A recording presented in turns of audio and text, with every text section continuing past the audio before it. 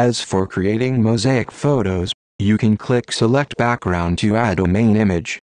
Click the Next button to add tiles, press Shift to add all images in one click. And then click Next to adjust the parameters for the mosaic photos. Choose the desired frame for Monet, it will turn the image into a PNG file. The Mosaic Maker supports both tile and interlace mode. Just increase the tile size in order to have a better understanding for the different modes. Just check the mosaic photos in tile mode, you can find every image in composite in tile when you zoom in the photo.